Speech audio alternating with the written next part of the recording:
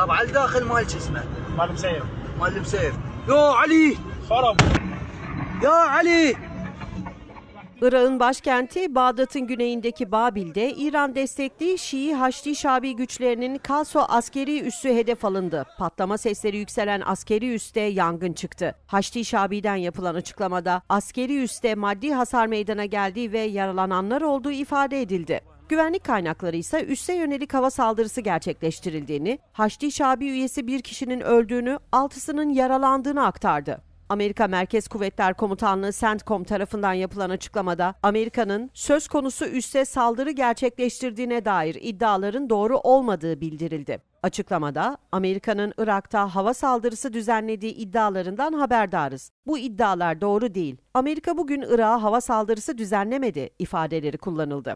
Hamas hareketinden yapılan açıklamada ise Irak'taki saldırının şiddetle kınandığı, bunun Irak'ın egemenliğinin ihlali olduğu ifade edildi. Açıklamada Gazze şeridinde Filistin halkımıza karşı yürütülen Nazi savaşına sağladığı askeri malzeme ve destekle bölgedeki gerilimi tırmandıran Biden yönetimini sorumlu tutuyoruz ifadelerine yer verildi. Öte yandan Irak'taki İran yanlısı gruplar, İsrail-Filistin çatışmasının başladığı 7 Ekim'den bu yana Irak ve Suriye'de Amerika öncülüğündeki koalisyon güçlerine yönelik saldırıları arttırmıştı. Amerika da saldırılara misilleme yapmıştı.